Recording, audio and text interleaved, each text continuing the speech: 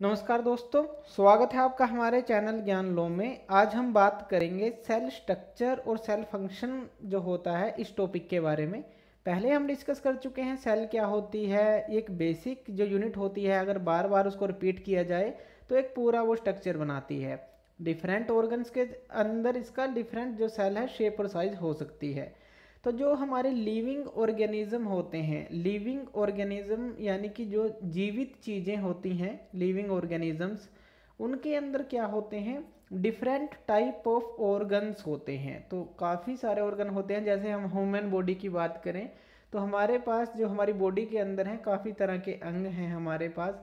जैसे हमारे पास दिल है, जैसे हमारे पास किडनी है, जैसे हमारे पास जो डाइजेशन सिस्टम है, पाचन तंत्र है काफ़ी तरह के हमारे पास ऑर्गन होते हैं। तो ये जो ऑर्गन होते हैं, वो हमारे बनते किससे हैं? वो सारे हमारे सेल से बनते हैं। हर एक ऑर्गन का अलग काम होता है। तो उसके अकॉर्डिंग जो सेल होती हैं, वो स्पेसिफिक फ़ंक्शन होते हैं उनके भी। तो सिमिलर सेल मिलकर एक पूरा ग्रुप बना के, एक पूरा जो है सिमिलर फ़ंक्शन करती हैं। तो जो सेल है, वो क्या है? एक बेसिक स्ट्रक्चर है। तो लिविंग ऑर्गेनिज्म के अंदर बात करें तो ऑर्गन होते हैं। ऑर्गन हमारे किससे बनते हैं? आगे वो सेल से बनते हैं। तो सेल से वो बनते हैं।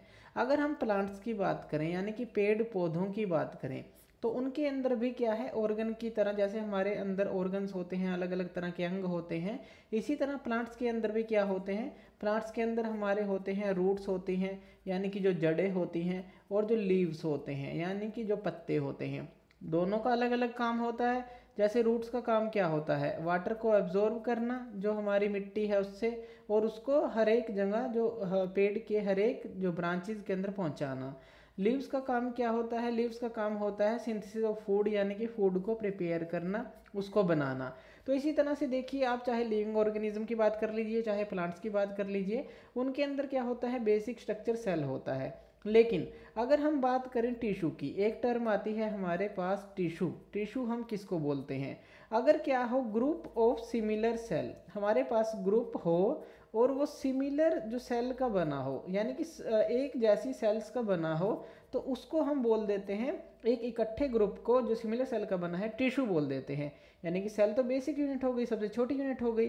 अगर हम ग्रुप के अंदर जो सिमिलर सेल हैं, उनकी बात करें तो हम उसको बोल देते हैं टिशू तो इस तरह से जो सेल स्ट्रक्चर है, वो बना होता है और जो फ़ंक्शन होता है, वो अलग अलग फ़ंक्शन के अकॉर्डिंग अलग अलग शेप और साइज़ के अंदर जो हमारी सेल्स हैं, वो पाई जाती हैं। तो ये था हमारा topic cell structure and function living organism के लिए प्लांट्स के लिए, जो हम ये बेसिक टर्म है, यानी कि जो टिश्यू है सेल है ऑर्गन है, ये जो है, इन सारी चीज़ों को हम समझ सकते हैं। तो ये था हमारा सेल स्ट्रक्चर एंड फ़ंक्शन तो थैंक यू वीडियो देखने के लिए। और ज़्यादा अपडेटेड वीडियोज़ के लिए आप हमारे चैनल ज्ञान लो पे हमें सब्सक्राइब कर सकते हैं। Thank you